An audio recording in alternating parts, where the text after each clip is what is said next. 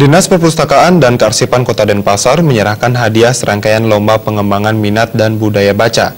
Lomba ini sebagai upaya untuk mengenalkan dan mempromosikan perpustakaan kepada masyarakat serta meningkatkan minat dan budaya baca di kalangan anak-anak.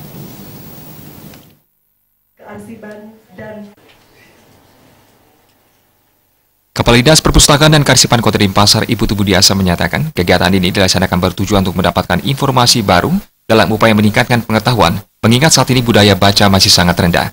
Saat ini Indonesia menduduki peringkat 60 dari 61 negara. Kegiatan terbagi menjadi dua kegiatan, yaitu untuk penilaian perpustakaan sekolah dasar dan lomba perorangan mulai dari tingkat SD sampai remaja. Kriteria dalam mengikuti lomba disesuaikan dengan tingkat jenjang sekolah peserta, seperti SD, SMP, dan remaja.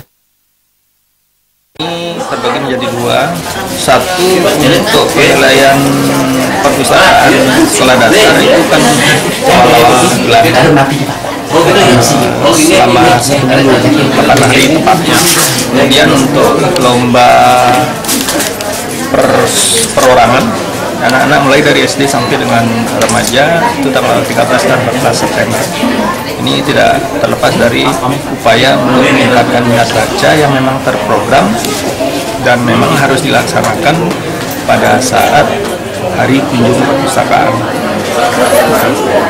Uh, ini karena apa namanya dibagi atas kategori yang kriterianya adalah satu dia sekolah dasar ada tiga lomba yang kemudian SMP ada tiga. Kemudian ada provinsi. Kalau uh, uh, apa namanya uh, remaja itu sebenarnya tingkat SMA dan SMK kenapa kita rubah? Karena kalau kita menyelenggarakan tingkat SLDA atau SMA SMK maka itu kewenangannya ada di provinsi lanjut, Putu Budiasa menambahkan, sasaran kegiatan ini yakni untuk menambah minat baca. Salah satunya dengan menggelar lomba, sementara meningkatkan minat baca dilaksanakan dengan mempromosikan perpustakaan.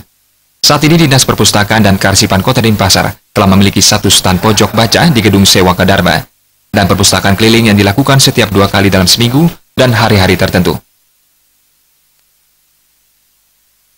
Uh, ini kan sasarannya adalah untuk meningkatkan minat baca. Salah satu caranya adalah melakukan lomba gitu melalui lomba. Sementara minat baca juga dilakukan dengan bagaimana mempromosikan perpustakaan supaya mereka datang ke perpustakaan. Hmm.